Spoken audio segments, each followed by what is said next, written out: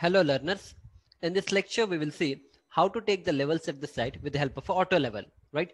So always we have to see, we have seen whenever we take the, whenever we do the excavation or whenever we do the PCC, every time we need to give a level, only then the execution is going to happen at the site. So in this entire series of lectures, we'll try to understand them one by one. So to begin with, we'll try to understand what is temporary benchmark. We'll try to understand what is the mean sea level, uh, how the auto level is going to look, and then we'll try to see how those uh, calculations are calculated. Yeah. So to begin with, so if you can observe it here, yeah, all the construction project will have a permanent benchmark taken from the survey department or from the local authority, right? So you can see something written here. It's written here, temporary benchmark. So this temporary benchmark we are going to create in our site, but there's something called as permanent benchmark, which you are going to get in the railway stations or in, in the nearby inspection bungalow. So we'll try to see that well. From there, we are going to carry the level and wherever our construction site is going to happen, no, there we'll try to create such a level that is called as temporary benchmark. So keeping this reading, all other readings are taken on the construction project for marking the levels. Keeping the uh, permanent benchmark, from there we are going to do the level or we are going to take the RL for our project by creating a temporary benchmark. So, so once this is understood, so if you see it here, no, yeah, for that we need to understand something called as mean sea level. If you see it here, no, see, whenever uh, if you go to um, if you go to any railway stations and all, they are going to write the le uh, level over that. That is 500 meter above mean sea level and all. So what exactly is that? See, this is a uh, you know river or what? This is the ocean. What we have. Okay, all that all that levels what they have taken is from the mean sea level. Because see every time what will happen there will be a low there will be a high tide there will be the low tide high tide and low tide right? So they are going to take one mean sea level out of this high tide and low tide. They're going to take one mean level of this. And with reference to this mean level all other levels are taken in the entire uh, country uh, like if you're from India, then each city has their own RL level. So this mean sea level with respect to this, those levels are taken, right? You can see it here. See, they have written it here, no? From here to here, that is the top of this ship. You can see it's written 3000 feet MSL. MSL stand for mean sea level. Similarly, if you see this, um, uh, you know, plane here, from the mean sea level, this plane is at a height of 5000 feet mean sea level. So in this way, we represent all this height okay now i'll show you one more drawing of the same thing. See now uh, you can see it here written right? So what is written? Mean sea level. Give me a minute. Yeah. Yeah you can see it here. Mean sea level 214.42 meter. That is from that mean sea level the height of the new delhi is the new delhi is a city in india. Okay so from there the height is 214.42 meter. Similarly there is uh, another state uh, another district called kalaburgi in karnataka.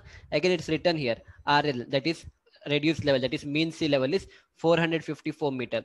Similarly if you come to bangalore it's written here mean sea level is 896.920 all these are the permanent benchmark. You cannot you can never change all these things. They are permanent. All other construction whatever you want to do with reference to this level we'll try to create a temporary benchmark in the near uh, in the construction site what we have and from there we are going to carry all the level that is required right? Yeah. So again we'll try to see what else we have. Yeah yeah. So now how to carry all this level? Now we saw how how this permanent benchmark are established with with reference to the mean sea level.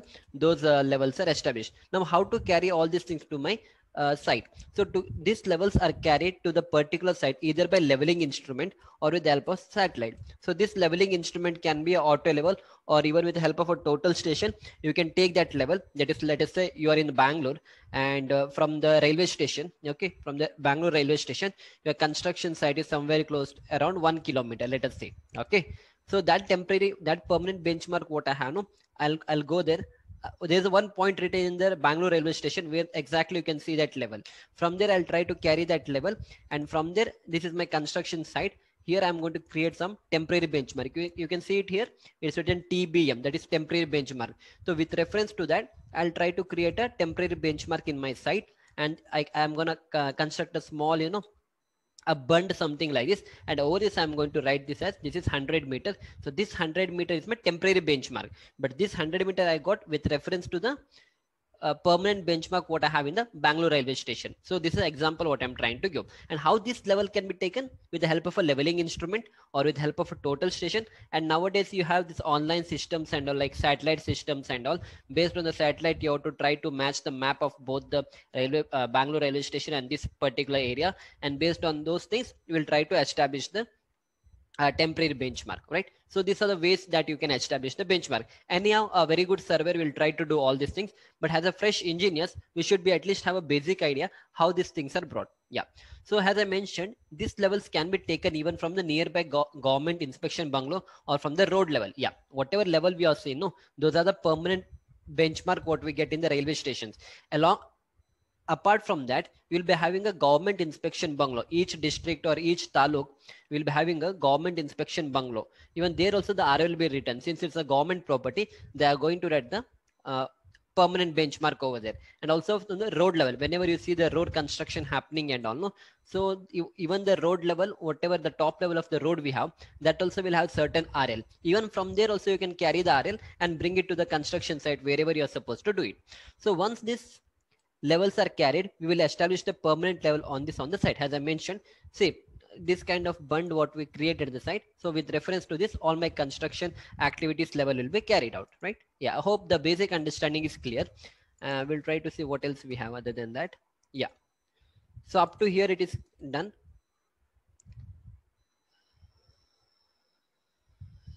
So in the next lecture, we'll try to see how exactly those levels are transferred to the site and we'll try to understand the different part of a auto level and leveling staff. And then we'll try to understand how to transfer these levels. I hope this uh, basic understanding is clear. We'll see you back in the next lecture. Thank you.